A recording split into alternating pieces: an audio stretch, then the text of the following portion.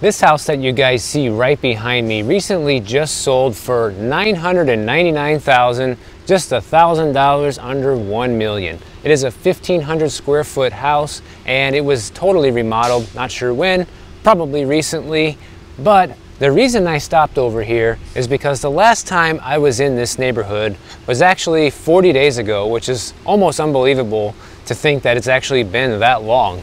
But this house is literally two doors down from another house that's for sale right now from YouTuber uh, Ryan Scribner.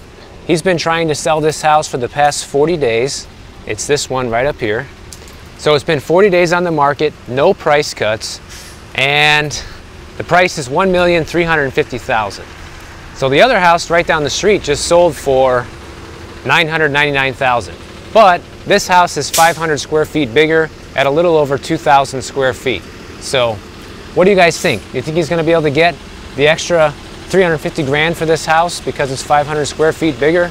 Oh yeah, and anybody who saw that video before, don't forget, you still have the dilapidated house next door. Not much is happening with that. And I guess it comes with the ambulance too.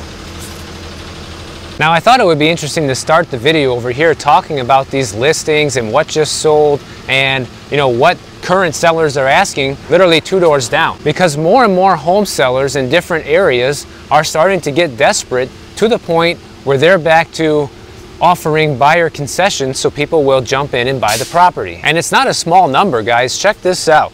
In the fourth quarter of 2022, according to Redfin data with the home sales that they tracked, 42% of the homes sold came with some sort of seller concession. Now, just to be clear, a seller concession is not a price cut.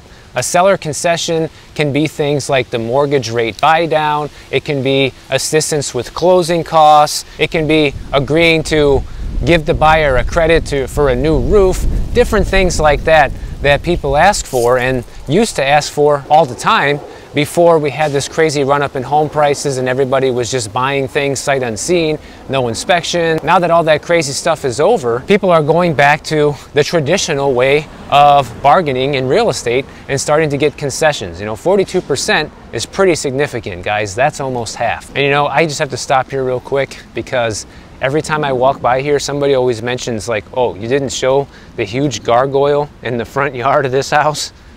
Look at that thing. It's pretty wicked looking, huh?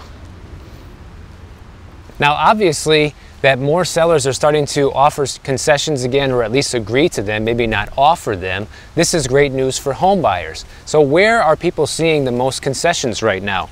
Well, it shouldn't come as a big surprise that some of the areas that are seeing the biggest amount of concessions are in Portland, Oregon, Las Vegas, Nevada, uh, Phoenix, Arizona, San Diego, set, get this guys, 73% of homes sold in San Diego in the fourth quarter came with a concession. That's, that's almost everybody. That's a pretty high number. And Phoenix came in pretty close at 63% of the home sales having concessions. Now, from the seller's point of view, I don't really see what's the difference. You know, you're giving money either way. So whether you accept a lower offer price or you just give buyers concessions for different things, it makes no difference to you. The bottom line is going to be the same for you at the closing table. But as a tip for buyers, you know, this might entice some people to buy a home, maybe at full price or just slightly below list price, whatever. But think about this, guys. And I know this might not make a huge difference, but every little bit counts, right? And that is when you buy a home, depending on the price that you pay, that price is going to get recorded in your county tax appraiser's office and that's going to be the number that's going to be used to base your property taxes on. This is another reason I've always told people that it's always better to get the home at the lowest price possible regardless of the interest rate or anything else and that also includes getting a concession for the home because wouldn't you rather have paid $20,000 less for a house than get a $20,000 credit for the new roof? because when you pay that extra 20,000, you're going to be charged taxes on that extra 20,000. The county's going to look at this and think, hey, you know, the house sold for this price, and now your new tax assessment is going to be based on 500,000 instead of 480,000. You see what I'm saying? You guys looking at this house? Yeah, we were just looking at it. You mind come on camera? I do a YouTube channel about real estate. You want to talk about it for a second? Feel comfortable with that? we're okay. No? Okay. See guys, I try to talk to people sometimes on my walks, but most people are just too shy to come on camera. So, you know, I saw those guys looking at the house over there and, um, you know, thought maybe they would want to talk about it, but usually no one ever does. Now, it's not like these concessions are happening everywhere and people are just getting all kinds of bargains with this, but it is something to pay attention to if you're in the market looking to get a house because anything that you can get as the buyer to give you a leg up is going to help you today. But remember guys, if you're negotiating, your goal should always be to pay the least amount possible because it's going to help you with your property tax bill, which you're going to be stuck with forever. And it can also lower things with your closing costs because the lender, for example, will charge a percentage for your mortgage of based on the, the, the, purchase price of the property, different things like that, that can all add up. So keep this stuff in mind if you're going to be purchasing a home in 2023. Really, the best incentive for you as the buyer is to get the home at the lowest possible purchase price. And if you're a home seller looking at giving a concession to a buyer, you know, for you it makes no difference. So, you know, don't be feeling like defeated or beat up if you give them a discount instead because realize that this is better for them and you know you would probably want the same thing if you were in their position so we all know that everything is up everything is more expensive due to inflation is there a chance that anything is going to be getting cheaper in 2023? Because I'm sure that would be music to everyone's ears if anything's going to be getting cheaper as we have the worst inflation that we've had in 40 years. Well, the first thing that's already getting cheaper, which I talk about all the time, is real estate, guys. We already know that. Not going to spend too much time on that.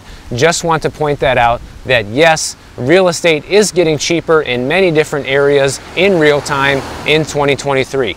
How about rent? Rent is a big one, right? According to Zillow's most recent data, their rental index has dropped two months in a row now from September through November. That's the most recent data that they have available. And they've been noticing rents declining two straight months. So that's a good sign for renters.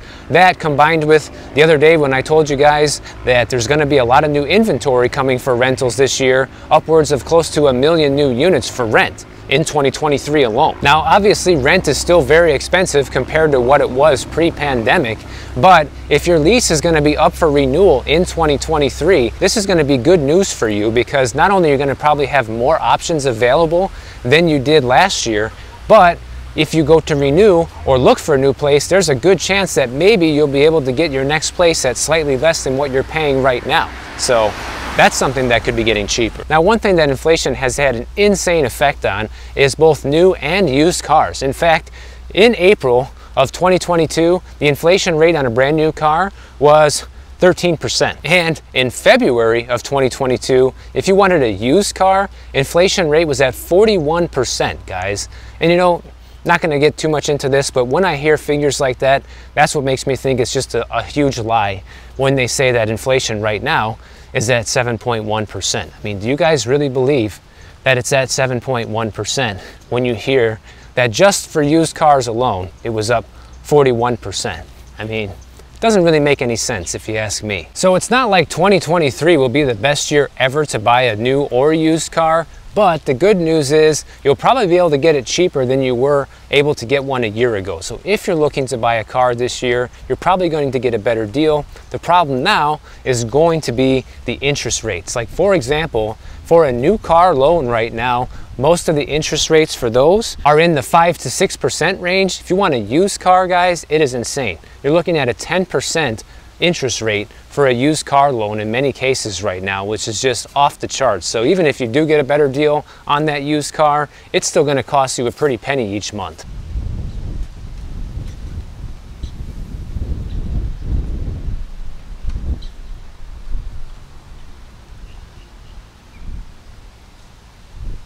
Another couple things that we're likely to see prices start to stabilize or even go down on in 2023 are appliances and electronics of all different kinds. All these things require semiconductors and microchips and different things like that. And for a long time, we had huge supply chain problems with that. And some of that is starting to get resolved and hopefully will start getting better into 2023, especially now that China is reversing its uh, no COVID policy over there. And maybe they're not going to be doing any more lockdowns. So we'll see. Another interesting one that we're likely to see price declines with is hotel room. It was reported that hotel rooms got extremely expensive during the pandemic because once things started opening back up, people wanted to go out and travel, start doing things again, and that huge demand combined with the amount of people that had money from the stimulus packages to travel and do things was insane. And hotel room prices became insane with it. And now that most of that is already dried up and people have gotten it out of their system, the hotel prices are going to be probably back down to reality in 2023, which I'm happy about because I plan on staying in a few hotels in 2023, uh, probably on another road trip over the summer. So that'll be good. But the thing that sucks is food and energy prices are probably going to remain high throughout the rest of the year. And those are the things that we all really need the most. Because let's face it, guys, most of us don't really need a new car. You usually don't need to buy appliances every year. You know, electronics, you can do without that stuff, but everybody needs food and energy, right? So that's the issue with this is that while the price of some things might be coming down in 2023, it's not the right things if you ask me. Housing is a big one, like we talked about, and that's good. I'm happy to see that home prices are coming down in a lot of areas as well as the rents. But the big question is going to be is it going to be enough to really make it affordable for people? But you know, sometimes people do this to themselves, guys, because there was a report today saying that the number of people who are paying $1,000 in car payments is rising fast. Now, how fast is it rising? In 2021 and 2022, the amount of people who were paying $1,000 or more for a car payment was about 10.5%. Fast forward to today, that number has climbed to 15.7%. So that is a lot more people opting to take this, these huge car payments, which to me is just insane, you know? People are doing this, guys, and here's what's even nuttier about this. When you talk to financial experts and planners and people like that, they say that you don't want to spend more than 10% of your income on your car payment. Well, the average person only makes about $4,500 a month. So 10% of that would be $450 a month for the car payment maximum, guys. So this is more than double what people can usually afford for these car payments, but yet they're taking them anyways. It's no wonder that everyone is going broke these days when I read stories like this. In fact, I asked you guys in a poll whether you guys wanted to see a video about Warren Buffett's frugal lifestyle habits or why everyone is broke, and the overwhelming majority of you chose the why everyone is broke option. So stay tuned. I plan on making a video like that because I think it will be interesting to highlight all these different things that people are doing that's just stupid right now that's adding up to this. So that'll be a fun video to make. Now, some of you guys have been asking me about the Miami housing market, which for obvious reasons, I live here, I've worked as an agent here for many years, and I haven't been giving you guys too much information on that. So let's take a look at what's happening here in Miami. Now that we have the most recent data from the Miami Association of Realtors, one thing that is readily obvious is the amount of closed sales that we have here right now are completely plummeting, guys. When you look at single family home sales year over year, and this is based on November's data. So from November 2021 to November 2022, the home sales here have dropped 38.5%. We went from 1,168 down to 718. Now, one factor from this that really hasn't changed is how many home sales were paid in cash, which I find interesting because even though the amount of sales has been going down, the number that people are paying in cash is still about the same, about 24.5%. And yes, the median home sale price here in Miami is still up year over year. We went from 502,000 back in November 2021 to 550,000 in November 2022. A couple other notable things that have been happening is the active inventory has been going up pretty significantly, guys, when you look at the year over year. And this is for single family homes only. We'll get into the condo data in just a minute, but for single family homes, it went from 2,800 to almost 4,300 homes on the market. And the percentage of discount that people are getting off the asking price is also starting to change as well. People were getting about 98% of the asking price. Now they're getting 95%. So people are starting to see discounts on the homes that they're buying here. And now looking at the condos, the condo sales are down even further, about 42% from 1853 down to 1,073. So that is quite a drop. But ironically enough, the amount of sales that are paid in cash actually went up year over year. Last year, it was 46.9%. Now, it's 54%. So that's a pretty big change. The median sale price for the condos is still up year over year as well, from 346,000 up to 395,000 this year. And interestingly enough, which I'm actually surprised to see this, is that the amount of condos on the market has actually gone down year over year. So they went from 71.79 last year to 68.90 this year. So I, I was surprised to see that, especially seeing how much the single families went up in terms of inventory, but there's actually less condos on the market today than there were a year ago. Now, when we look at these numbers, I feel like Miami is finally starting to be affected by the overall dynamics of the economy when you see the amount of sales completely falling off a cliff down here. But the prices really haven't yet. And that's the interesting thing. And, you know, just like the people that say, oh, the prices aren't going down in my market, it's kind of the same thing here, guys, you know? But it doesn't matter because I look at the overall trends, but a lot of you have been asking me about what's happening here in Miami and, you know, whether it's going to get more affordable or not. And based on the information that I'm seeing, I feel like it's still too early to tell if Miami will become more affordable over the next couple years or not because we just saw this massive increase in people moving here guys like I've never seen before. I've been here 15 years now and there was probably more people that moved here, you know, during the pandemic than any other time in history that since I've been here anyways. So it was just a huge influx basically overnight which led to this. Plus you have the remote workers that come down here, want to be here, especially in the wintertime like now. And Miami has just been leading the top spot with so many different reports. Like Miami has recently become the most unaffordable city in America. Miami has recently been named one of the best places to live, ironically. I don't know who said that based on especially what, you know? People can't even afford to live here, guys. And for renters, the situation is really abysmal because not only are we leading the list on those other things, but we're leading the list on the toughest place to get a rental right now. I mean, literally, guys, across the entire United States, Miami is the toughest place to find a rental right now. And it used to be totally the opposite. I used to do a ton of rentals when I was working full time as an agent. I mean, rentals were my bread and butter, guys. I would do three, four rentals a month, and then you're lucky to do a sale every other month or so.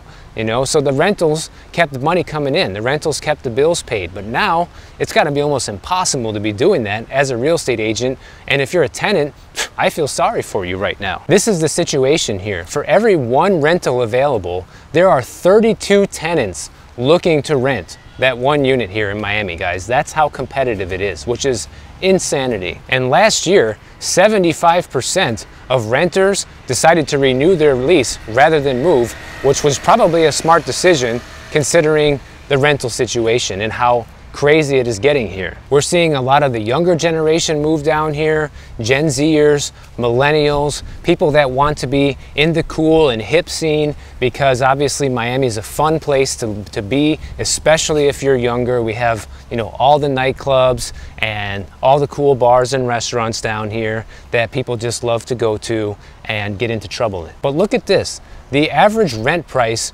for a one bedroom here in Miami is about $23.56 a month right now. And that would be for an 888 square foot on average apartment, which is usually about a size of a one bedroom here. So you're talking almost $2,400 a month for a one bedroom.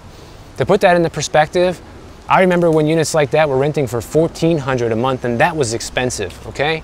So now you're looking at $1,000 more. And you know, I was just telling some friends of mine the other day this, like, I feel like this whole pandemic literally put Miami on the map.